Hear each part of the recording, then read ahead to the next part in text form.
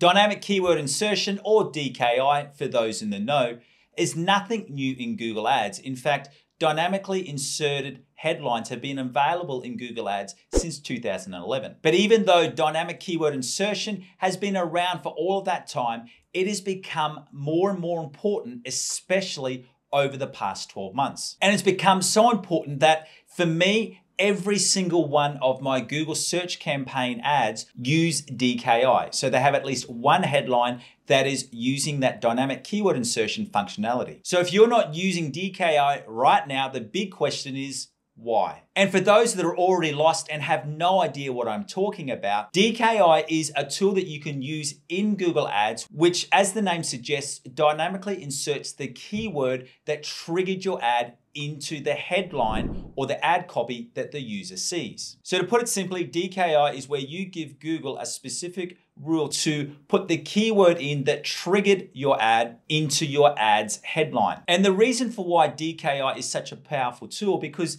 it's long been known that if your ad copy, especially your first or second headline, can match or as closely as possible match the user's search inquiry, you've got a much higher chance of getting that all important click on your ad. Think about it like this. If you are looking for a beachfront hotel in Noosa and you completed a keyword search, Noosa beachfront hotels, and you saw one ad which said Noosa beachfront hotels, and then another ad which said beachfront hotel deals, you're going to be more likely to click on that first ad which said Noosa beachfront hotels because you can see in the ad headline the exact keyword that you actually searched for. And so that you don't just take my word for it, WordStream has published data which shows very, very clearly the positive effect that dynamic keyword insertion can have on the performance of your campaign. With them publishing results, that once a campaign had added in DKI, they saw improvements in these three core areas. They saw that the number of clicks that they received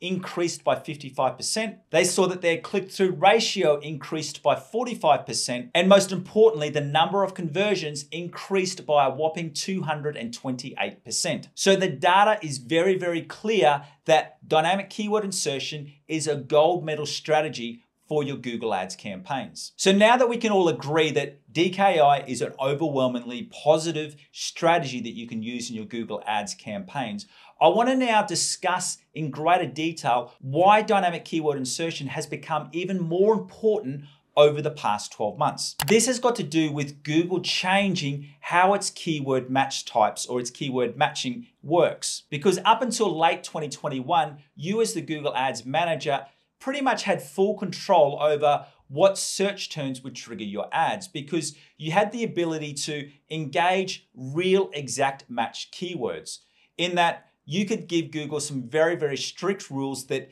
these three or these four keywords had to appear in a certain order in a search term in order to trigger your ads. But that is now not the case because Google now assigns its own meaning and that is the determining factor as to whether your ads are shown. Let me show you what I mean. So this is Google's own explanation of how their keyword match types now work. And as you can see over here with the exact match, ads may now be shown on searches that have the same meaning as your keyword. Historically, if you entered in the exact match keyword of lawn mowing service, saying that that's a keyword that you want to target with targeted within your Google Ads campaign, your ads would only appear if someone typed in that exact keyword phrase of lawn mowing service. If you had it as a phrase match, it would be a little bit looser in that you just needed those three words included. Whereas now, even with an exact match of lawn mowing service, things like grass cutting service, and I know Google gives this example of lawn aeration prices in broad match, but I've seen search terms like that appear in an exact match keyword. And I've even got examples of exact match keywords triggering competitor brand name searches, especially for larger industries. So what does this all mean? In a very practical sense, the core change that you need to be undertaking in your Google Ads campaigns is where previously you would have a campaign that could have up to or even more than 20 different ad groups, which each of those ad groups only having two or three different keywords in them. Now for success with Google search campaigns, you need to roll out a strategy that has less ad groups with more keywords. So rather than having 20 ad groups with two or three keywords per ad group, you would have two or three ad groups with 10 or more keywords in those individual ad groups. And in some cases, I've got successful, highly profitable, and fastly scaling Google Ads accounts that only have one campaign with two ad groups in it. And if you stick around to the end of this video, I'll invite you to another free training video on my YouTube channel where I discuss this strategy and this reality of how you need to use less ad groups with more keywords for success in 2023. But so that you can get the best out of that teaching, right now we need to go through two important things, and that's how to set up dynamic keyword insertion in your Google Ads campaigns. And then I'll also show you through the really powerful results that I've seen using dynamic keyword insertion. But before we get into all of that, just in case we haven't met yet, my name is Aaron Young. I'm from Define Digital Academy, and I'm your 15,000 hour Google Ads Master. And to help you get the most out of Google Ads in 2023 for your business, make sure that you don't only subscribe to my channel, but also turn on that notification bell. And to help you even further, I want to give you free access to a Google Ads tool that I've created for business owners and Google Ads managers like yourself, and it's called my Google Ads Optimization Checklist.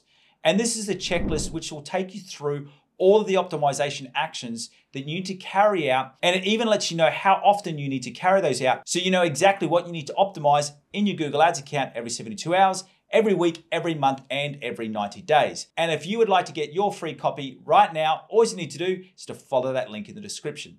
Let's get into that screen share. So what you're looking at here is the ads that have been using for a Google search campaign over the past 15 months. And as you can see through here, these are the top 10 ads. And when we rank them down by impressions, you can see that these two, which we are currently using, stand out because they've got the highest click-through ratio, coming in at 16.91 and 12% on the click-through ratio. But more importantly, they've also got the lowest cost per conversion, coming in at $35 and $34, with all the others in that 40 and 50 market, with the highest up at $54. And what you can also notice the clear difference between these two ads and all of the other ads is that these two are the only ones which are using that dynamic keyword insertion. This campaign was running before Google made that switch of going over to responsive search ads. So we had these expanded text ads in here, but we were running these expanded text ads without dynamic keyword insertion. We then went through and started to run some responsive search ads. And then we took it a step further and used these responsive search ads that also had dynamic keyword insertion. And as you can see from here, the results have been a lot stronger. Once again, in some cases, bringing down that cost per conversion by $20. From where it was originally at $54, we're now seeing that at $34. So this results backs up those results that I gave from WordStream earlier. So now what I wanna do is I wanna take you through how you actually set up dynamic keyword insertion in your account because it's actually really, really easy. When you're in the section for editing an ad, all you need to do is you need to go into your headline and I'll just go to an empty one in here so you can see I've got this functioning in here already. And in order to get that box appear, you just need to go to an empty headline and you need to type in the brace or the squiggly bracket. And once you type that in there, you can see that this brings up the option for keyword insertion. Click that and then you can put your keyword into the default text. Now we've already got this functioning right here, dynamic keyword insertion. And as you can see from here, look at this first headline. You can see that whichever example we see, we're using a different keyword that was triggered. So you can see these are all the keywords that we've added into our ad group. Whenever a user search term triggers one of these keywords, that's the keyword that pops up into this first headline. So as you can see, dynamic keyword insertion is not only very easy to implement into your Google Ads campaigns,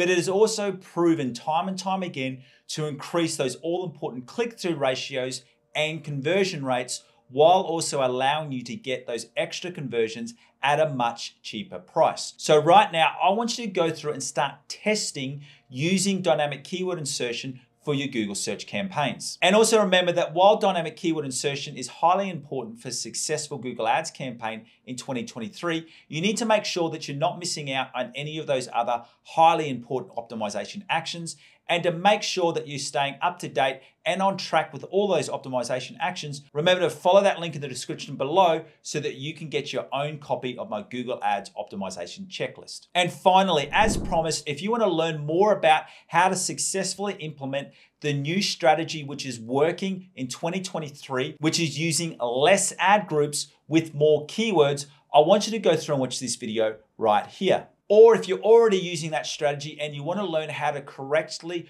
go through and split test your ads, I want you to go through and watch this video right here. Once again, thank you for joining me and I look forward to seeing you on one of those two videos right now. See ya.